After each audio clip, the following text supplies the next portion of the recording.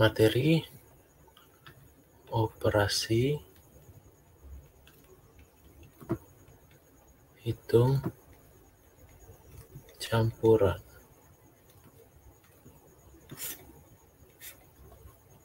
Soal diketahui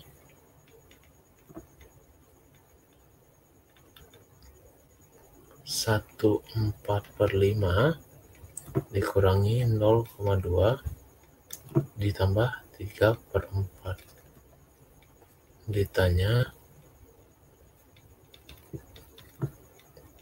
tentukan hasil operasi hitung campuran tersebut? Jawab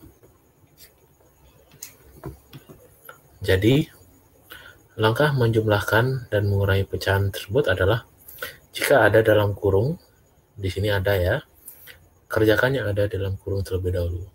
Kemudian operasikan pecahan biasa terlebih dahulu, kalau misalnya nggak ada tanda kurung ya, dengan menyamakan penyebut atau kemudian kurang, tambah atau kurangi. Kemudian yang terakhir itu biasanya kita baru kita operasikan dengan pecahan campuran. Karena di sini ada dalam tanda-tanda dalam kurung, maka kita kerjakan yang ada dalam kurung yang ada dalam kurung terlebih dahulu. 1 4 per 5 itu sama dengan 9 per 5 ya. 5 kali 1 tambah 4 dengan 9. Itu 4 per 5 dikurangi 0,2 ditambah oh, 3 per 4 sama dengan 1 4 per 5 adalah 9 per 5 dikurangi.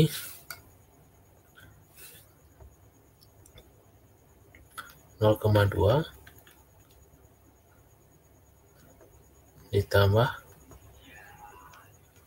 Atau kita rubah 0,2 nya menjadi pecahan biasa ya. Jadi 2 per 10 ditambah 3 per 4 nah sekarang kita samakan penyebut terlebih dahulu.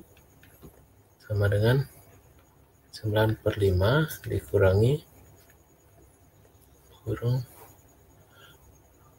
8 per 40 ditambah 30 per 40 sama dengan 9 per 5 dikurangi 38 per 40 nah di sini kita samakan penyebut lagi